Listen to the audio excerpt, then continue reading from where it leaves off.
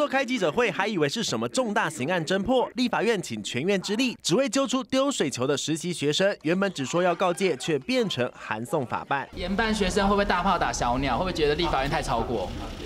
林权淡淡微笑，能够大方对硬闯正院的太阳花学运学生撤告，却不愿表达对立院移送丢水球学生的看法。总统府也说，宪政分权，对国会内部运作不评论。府院放手，立法院正式行文，要求韩信学生实习的媒体对此说明。希望他们三天的时间能够有一个正确的这个呃态度的表达，跟整个来龙始末的一个。呃，说明只有一个态度的正式表达之后，我想我们会。呃，再来做呃一进一步的考量。立法院态度依旧强硬，院长孙家全二十五号表示，重点不是让实习生接受法律制裁，但也没说不送办学生。而前一天，立法院法制局更搬出刑事诉讼法跟社会秩序维护法，煞有其事。而律师认为罪名恐怕难成立。那个水球根本没有砸到人的话，那这整件事情里面根本就没有被害者可言了。那既然没有被害者，那你根本没有告诉权，你也不能去提起这个什么告发或者是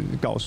更何况你连到底是什么罪名都没有说清楚。移送丢水球的实习生，警方表示没有先例，单单就丢掷水球可能造成委员议事人员受伤，就要提告，也得就事实判断是否真的触法，不是立院说的算。记者综合报道。